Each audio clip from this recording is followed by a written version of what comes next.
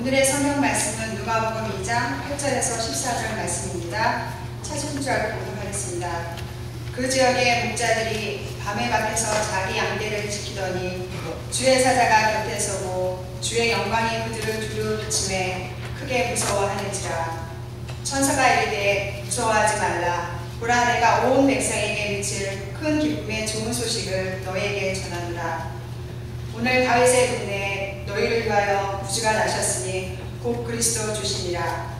너희가 가서 강구에 쌓여 그 위에 누워 있는 아기를 보리니 이것이 너에게 표적이 표적이니라 하더니 호련히 수많은 정민이 그 천사들과 함께 하나님을 찬송하여 이르되 지극히 높은 곳에서는 하나님께 영광이요 땅에서는 하나님의 기뻐하신 사람들 중에 평화로다 하니라